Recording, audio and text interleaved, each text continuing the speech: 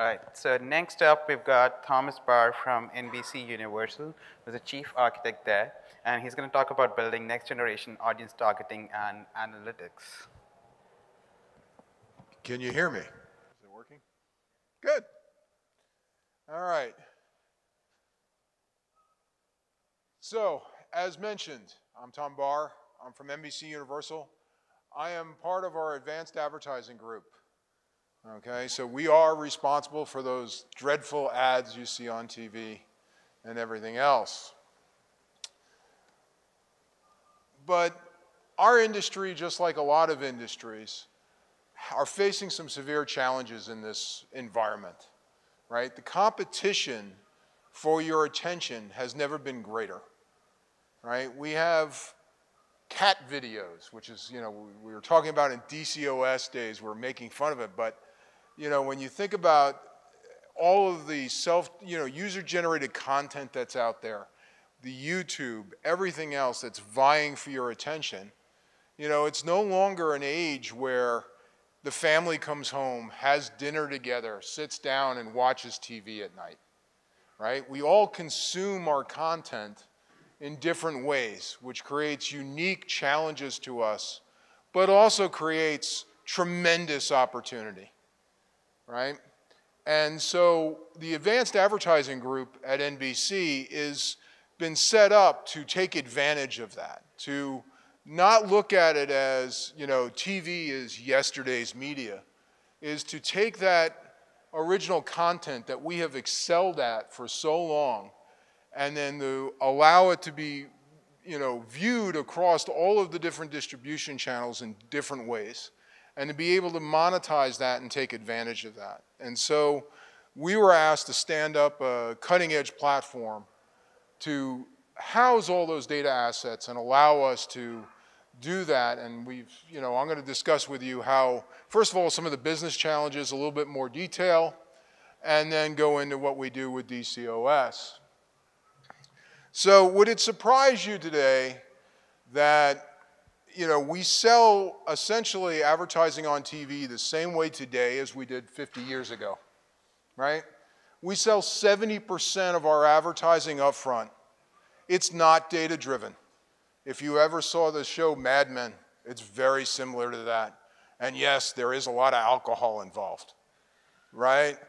And, you know, we literally, there's no data analytics driving behind this, or very little right? A chief marketing officer will come up during our upfronts, which kick off in this big event in New York. All the, everybody does this, right? And they'll just sit there and literally sometimes they'll say, well, you know, my kids watch The Voice. Let me buy The Voice, right? Okay, we'll sell you The Voice.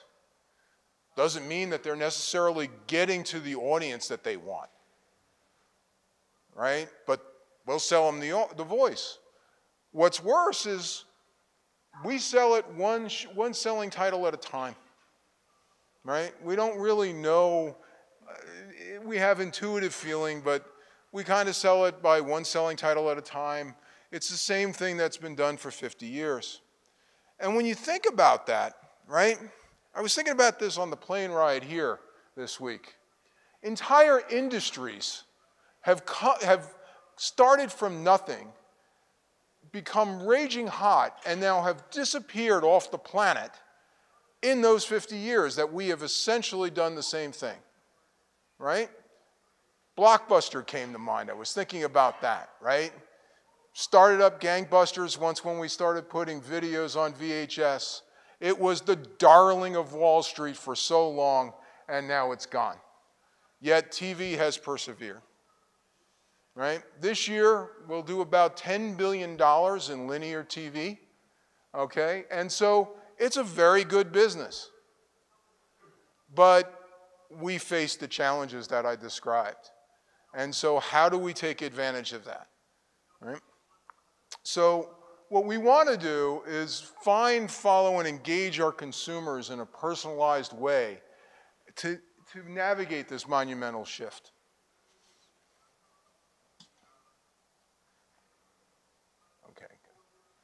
So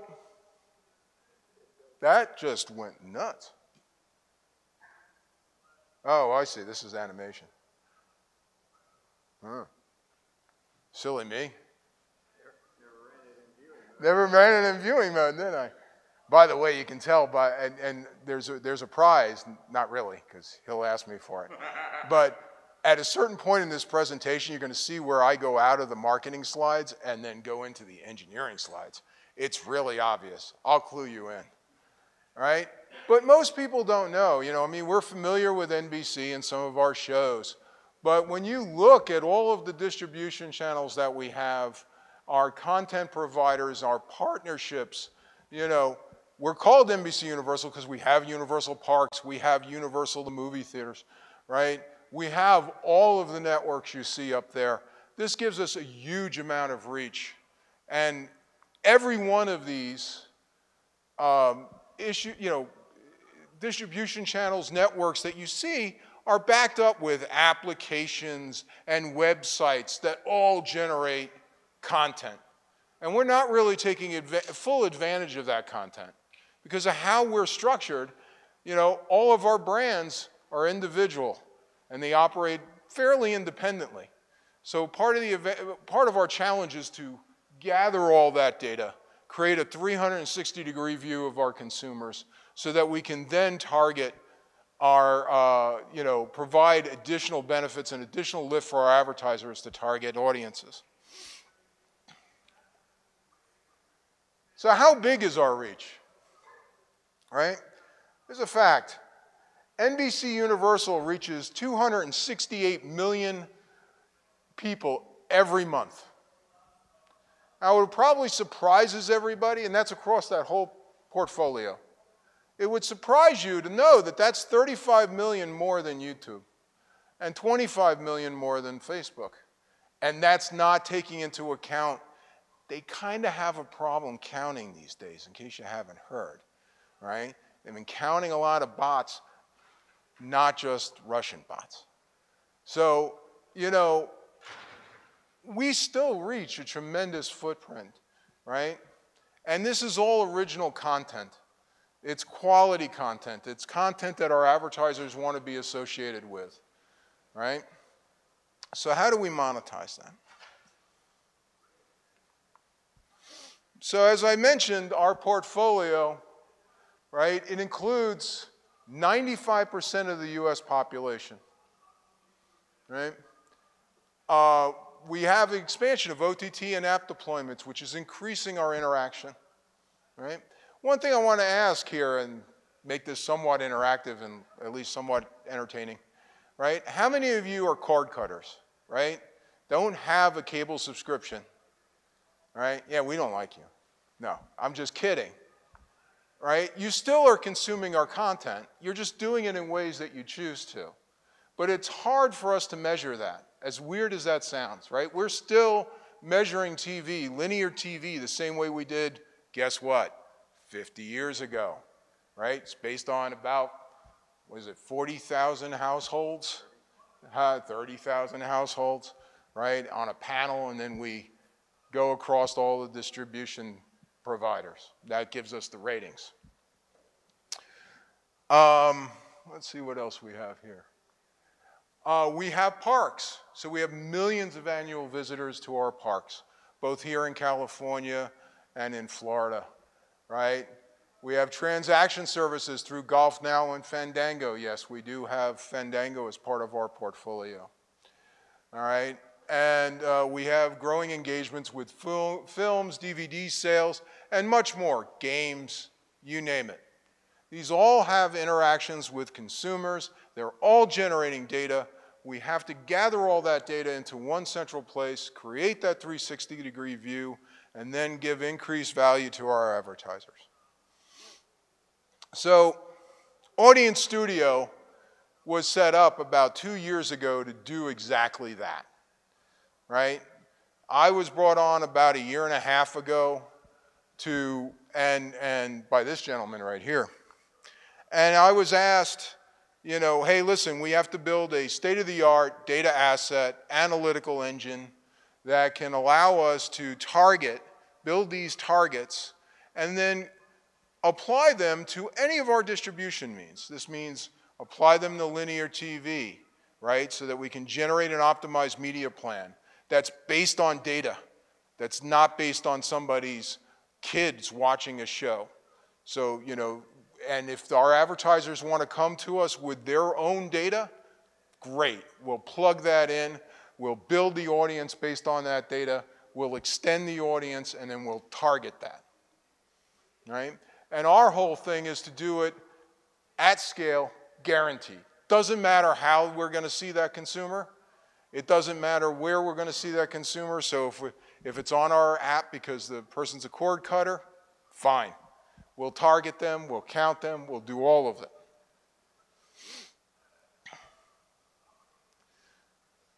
So this is what we like to call our ice cream slide.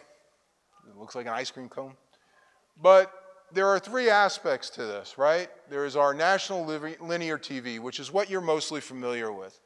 I define that as you watch the TV for the most part when we want you to, right? That's linear TV.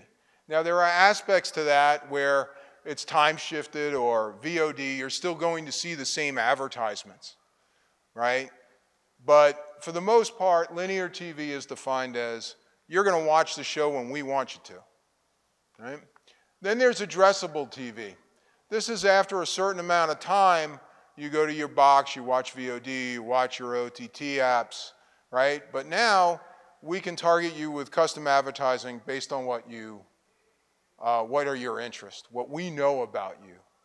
And by the way, in a, you know, autonomized way, so don't get, you know, don't worry about privacy. We, trust me, I have to worry about that every day right? And then we have our digital aspects, right? We, uh, and as you look, still vast amounts, right? On a scale, there's 105 plus million US television households.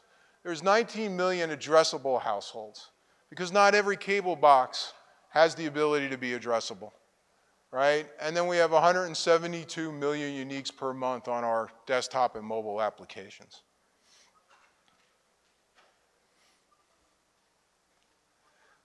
We're putting our money where our mouth is. So this year we announced, Linda Yaccarino, who's the head of all of ad sales for NBC Universal, announced and said, and this is pretty um, uh, unique within the industry, because this is still, this whole data analytics driving sales is still fairly new in the industry. There's, there's some players that are doing it, but we're kind of, we believe we're taking a leadership position here. And so out of that $10 billion, we allocated 1 billion of that for programmatic or uh, data-based advertising. So one tenth of our entire sales this year, uh, and we're well on track to do that and achieve that goal, right? So it's taking the trade, and you know, in, in Ad Week it actually says it's taking the training wheels off of Audience Studio. So now we no longer are the, the little toy that was kind of nice and we have to do it at scale, right? We can't just do it and paper it along. So we have some technology goals, right? We got to unlock and utilize the data. You would think it was a lot easier. We spend about uh, a, you know, a couple of days here every other month just talking to our brands that are here, try, going down to Florida, trying to get the data, get the data all together. Everybody's individual cost centers and you know profit centers, so this is not an easy task, right? Um, we have to take ownership of our linear optimization solution. Uh, we have to be nimble, right? This was part of the challenge when I came here was we didn't really know what was needed. This hasn't been done before. So it's build us a platform that can take anything and do anything, right? And so, you know, and you can see throughout all of your discussions today that these, you know, in the last two days, if you were here for DCOS days, DCOS lends itself to those kind of dynamic, nimble, we don't know what we're, you know, what, what the challenges of tomorrow are going to be, right? Uh, let you read the rest of that. We have several this year of technology goals. So, what's our value proposition? We're targeting at scale. We'll utilize our advertisers' data, we'll utilize our data, we'll combine them. We'll do it in a privacy safe manner, in a manner that's fully tenant, so that we're not going to intermix advertising data, right? Right? We're going to get better cost efficiency. So, you know, in the example I started with, where somebody came in and said, I'm going to buy The Voice prime time because my kids like it, right? Well, what if I can go ahead and save them money and get them the same audience across some of our cable properties. And you say, well, why would you want to do that? Well, that'll free up that ad slot, right, for somebody else. And then we move that off of there and still get them the audience. So there's, there's a win win for everybody. They're saving money, they're still reaching their audience. We're freeing up the slot. Maybe we can monetize it for more, right? To somebody who needs it because the voice happens to hit that demographic really well for them. All right? And then inventory insights, right? Again, this is exactly what I was talking about. Shifting across all of our portfolio from some of our hot portfolios, right? So, anybody notice the change in the production quality? Right? These are my, now, uh, I always say that you don't hire me for my PowerPoint. So, slides are not brought to you in living color. uh, they are absolutely not. You're, you're, you're, you're good. I like that. So, essentially, what we're talking about is building a data lake, right? And because this is this is kind of loose how you know requirements we have. We have a whole bunch of data from a whole bunch of different sources. We got to bring it all together. We got to analyze it, figure out what we're going to do with it, create a target, send it out, right? How do you do that? But those were essentially the requirements we have, and to this day, to, to a certain degree, what the requirements we have. So we wanted to go ahead and build a data lake.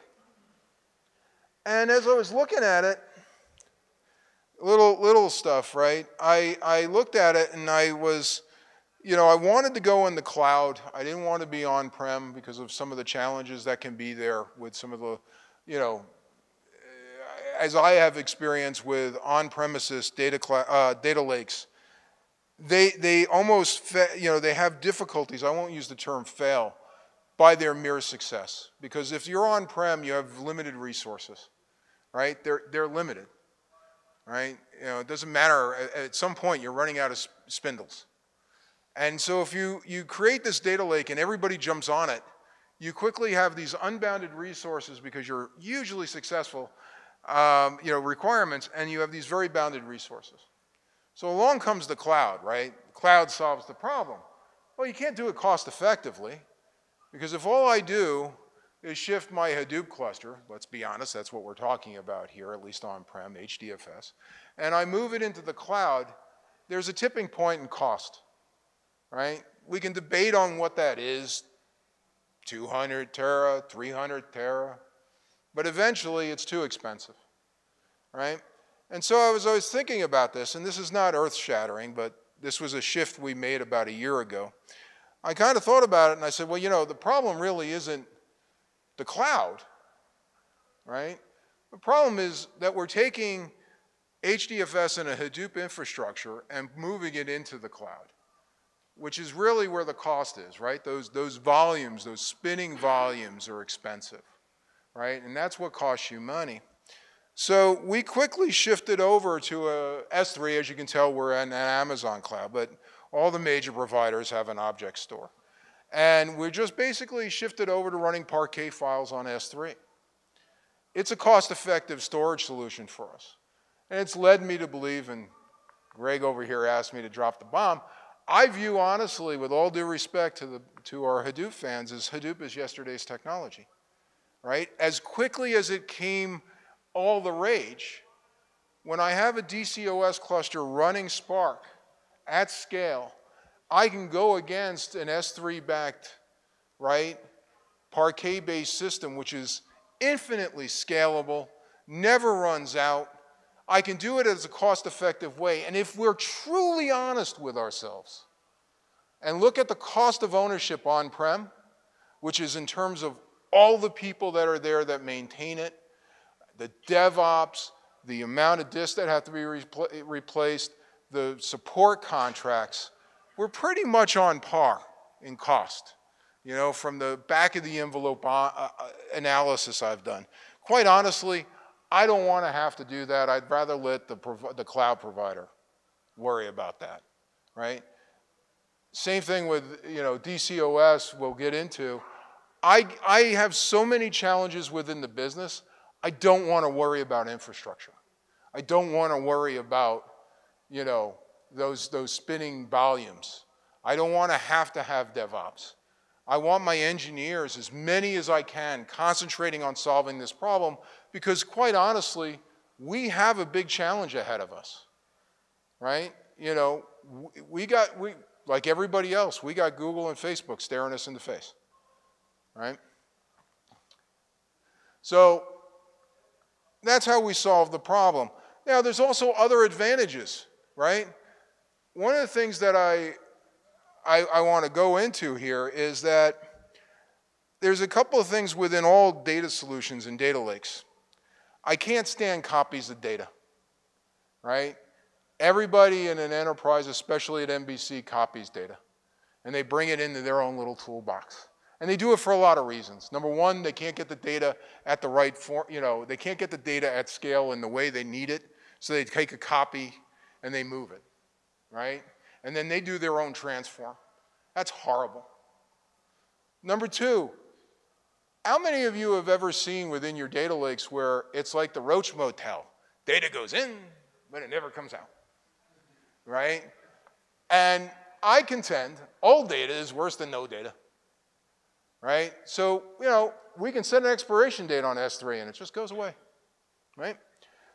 And unless you're really savvy with a Hadoop cluster, how much of us have really implemented multi-tenancy and you know, user permissions? It's really at the, I got access to the cluster and now I can see everything. Well, within S3 or any object store, I can control, based on policy, who sees what file at an atomic level. I can control it by the directory. I have all that permissioning stuff. It's all built in. And I don't have to do anything other than create the policies right? So I get a lot of advantages here. So, like everything else, even though I've been spending a lot of time within Audience Studio talking about uh, Parquet files in S3, we do have to have other data stores in our lake, right? We do use Amazon Redshift. That's our only cloud locking technology, and I contend that it's not it's nothing more than a Postgres database with a columnar-based data engine, right? I can get that out of Vertica, right, if I want to pay for it. I can get that anywhere. It just was cost effective to do it, right? And I needed that enterprise data warehouse to put a GUI in front of, right, for my ops teams. Uh, run Postgres.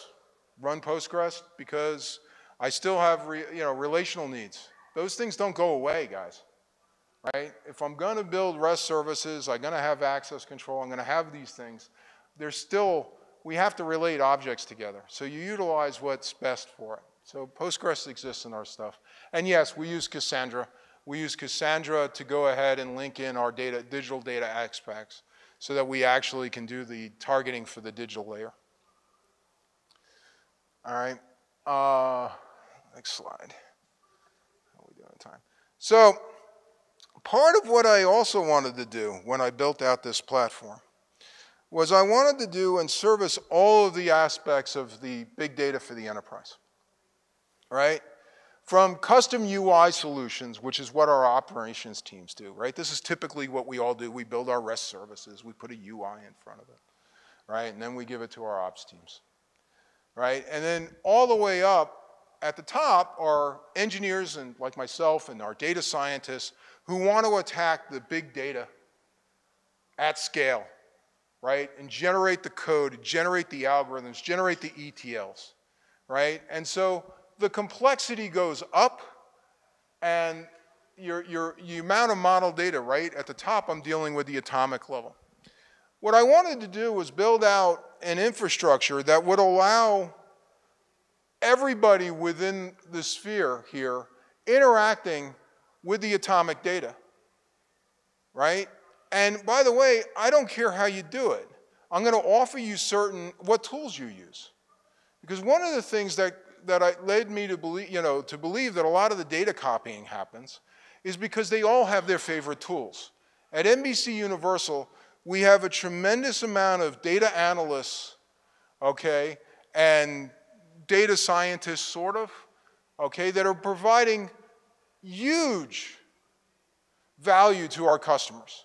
They're doing custom reports, they're doing analytics, they're doing stuff for our customers, they're interacting with our clients, okay? And guess what? They're not engineers, right? Because, first of all, we're engineers. We shouldn't talk to clients. Second of all, you don't want to pay somebody like me to do that. There's no need to it. So these people have different, they have non-engineering degrees, and they have tool sets that they're used to. SQL being one of them, right? MicroStrategies, Tableau. These things are not open source, and I know they may be bad words around here, but this is the reality of the enterprise. These people are providing critical roles that we constantly ignore. But they still have to do their job, so they copy the data. Right? So I wanted to open this all up and allow them through the power of DCOS and Spark to attack that data, right, at scale. Or if they don't want to use that, if they have their own, since I'm on S3, let them go ahead. If they want to run a snowflake, don't know why. Fine, spin it up. I'll give you your keys. Have at it. Just utilize the data that's in the lake. If you want to augment it, write it back out. Somebody else will use it. So how do we do some of this within DCOS? Right? That's my little data pool. Right? So raw data comes in. Every data that comes into Audience Studio comes into S3. Right? It's, it lands into our data lake. The first thing it does is our DCOS cluster through our ETL processes, kicked off by Chronos and stuff, pick it up and immediately transform it into a Parquet file, which is an exact match of the input data. This way, I don't want to hear, oh, I need to get at the, the original data. No, nobody needs to do that kind of string processing, right? I mean, CSV is CSV for the love of God, right? We can all just deal with Parquet files, right? Get a much more efficient view of it. If you need to, we can talk, right? And then we're going to start linking the data together. And we're going to start pulling all of the aspects of that stuff so that we can get that 360 degree view of the consumer I talked about earlier. And we link all that data. And all of those intermediate steps are also written out to S3 and made available to the enterprise to attack. Right? And so then, as I mentioned, I honestly, if you want, I'll give you access, my, you being the enterprise, to the S3 Parquet file so you can use whatever you want. You want to spin up your own stuff in the cloud? Go have at it. But I'm also going to go ahead. I'm going to offer you data as a service with a REST API. I'm going to offer you audience products. And I'm also going to offer you a SQL interface through a uh, Spark thrift server that uh, we contributed to the uh, community that you see here. I'm doing okay. So, you know, one of the things that we do, this our analytic tool sets, we utilize Zeppelin notebooks tremendously. All right? It's, it's, it's, it is truly a very powerful tool. But the thing that surprised me the most about Zeppelin right? I don't know how many of you have used it, but you, you, you're shaking your head, right? It's a very powerful tool. And so people, engineers like myself, some of my data scientists, not all of them, very comfortable with it. I'm like sitting there going, but wait a minute, three lines of code, I'll give you the three lines of code. You can now attack it with a SQL interface. More importantly, I can do in-memory outer joins. God darn it, how cool is that? And when we go back to that slide about the enterprise, that may be cool, but I discovered that although I consider it simple, it's not simple for people without engineering degrees, right? So that was a real shocker because I really thought through notebooks, we had the whole solution solved, but we don't. So we go ahead and we go ahead and we give you a gateway, a, thrift server, a Spark thrift server through DCOS. And now all of a sudden, I don't care what BI tool you have. If it talks SQL, plug it in. And now what we've done with this is we've opened up the power of Spark, right? That kind of big data analytical capability or querying to the entire enterprise just through that simple enabling technology, right? And even some of our people like using SQL editors like dbeaver, right? I don't care. They can have at it, right? And then we have our Spark cluster, right? It's, it's truly been good for the enterprise. You know, it's, it's you know, uh, one of my colleagues today said, well, you know, a lot of the data gets copied because it's just inherent. Everybody wants their own copy. And my answer to that was, well, there are certain things I can't do, but I can eliminate the excuses. Right? So if, you know, one of the main ones is I have to copy the data because I, I don't want, I want to use my tool set. I just eliminated that, right? So,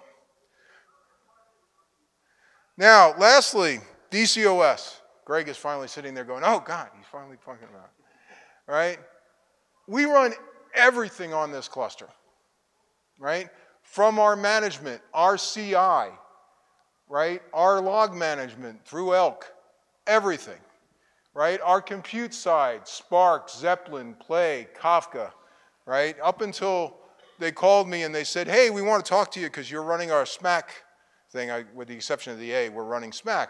And I was like, oh, we are? I didn't know. It just seemed logical, right? I think all of us, a lot of us came to this conclusion before they named it. It was just natural within the power of the engine here. And then we have our data stores where S3 sits off to the side. Now, interesting, for the first time, and this is one of my last slides, and then you guys can happily go for your booth crawl and your drinks, you finally see the dirty little word Hadoop, right? And you just heard me go on for the last 30 minutes about how I don't run Hadoop. I run a very small Hadoop aspect onto my cluster, and why is that? Well, I need to get my Spark history. I could write my Spark history to S3. Problem with that is that doesn't give it to me interactively. It only writes it at the end of the job, right? So I do need to run a little bit of a Hadoop cluster within DCOS. And you know, when I was initially talking to some folks at Mesosphere, they were like, yeah, that's kind of why we originally put it in there. And then it kind of grew from there, right? So that's why we do that. Uh, and then we have Cassandra. Uh, we're not really using a lot of HBase at this point. So I kind of went through this reasonably fast, landed the plane in time so you don't get upset with me. Do I have any questions? And did you stay awake? Hopefully you stayed awake. Go ahead. Hi, my name is Scott Fulton. I'm uh, with the uh, technology world's equivalent of NBC News, a, a publisher called the New Stack. Oh, yeah, they wanted me to know if I wanted to talk to you. Yeah. And I didn't get back. Well, we can talk. We can talk. Uh, I asked this gentleman, we can talk.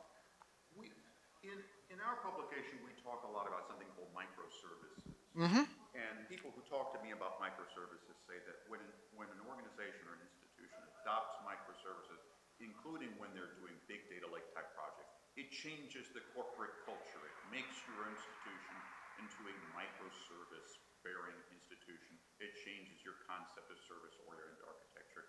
And I'm wondering if anything you've talked about that you've accomplished with Audience Studio thus far has changed the culture of the network that's been selling uh, ads pretty much the same way in spots to. I, I, don't, I, you know, it's interesting. I've never really associated with the microservices piece because uh, we're fairly new to NBC, we being the Audience Studio engineering team. And so we're a bunch of digital advertising veterans, so we've kind of been doing this kind of technology for a while. It's just new to TV. Um, but absolutely, in terms of bottom line sales, when we commit $1 billion, one tenth of our linear sales to being data driven and hence microservices driven, yeah, it's had a direct effect on the bottom line. Okay? So, yeah, absolutely right? So you in know? the bottom line, meaning on, on, on the revenue, on the revenue and, and how we do, and necessarily how we do things, right? I mean, this is a big change for us on how we sell advertising. I, I kind of glossed over on it, but you know, it's, it's, it's hard for an organization when you have that much top line revenue. And you know, we increased ad sales this year 9%. That's been in the paper, so I can say that. Okay, I have to be careful sometimes. And, and it's very easy to rest on our laurels, right? We're kind of leading the front of this because we see the tsunami coming at us. And if we don't change how we're doing business, right, instead of that 10 turning into 20, right, it's going to turn into 8. And that's not good, right? I really enjoy working for this company. So, yeah, it has revolutionized how we do business. Any other questions? Yes, sir. Excuse me? Okay, we're, we're at about a, we're just starting out, so we're at about a 100 tera or so. Uh, we process data both in uh, real time, so all of our OTT and digital assets come at us in real time and then add into that audience graph, all right? And then a large part of just the nature of linear TV is its batch. So we get a lot of stuff that comes in batch at night. And that's really also, by the way, where utilizing technology like DCOS really allows us to save money and get some cost effectiveness, right? Because the very nature of what the cluster does changes so much from our nighttime overnight batch processing. You know, the, the, the real time kind of goes along kind of constant state. It has its ebbs and flows as, you know, people are awake, right? But you know, the nature of the, of the same stack changes. At night, it's running these huge ETL processes, stitching all the data together that ran together, viewership data. You know, when you watch something on your cable box, eventually I'll see it, right? If, I, if it's part of some of the providers we deal with. By the way, in a totally autonomized way, so I, sir, I will not know that you're watching whatever you're watching, okay? But it comes into the, it comes into the cluster at night, and then during the day, our data scientists, our data analysts are attacking the data, providing value to our clients. So it changes much more into an analytical mode. And I don't have to have several clusters to do this. I have one, right? So I hope that answers your question. Any other questions? Oh, yeah.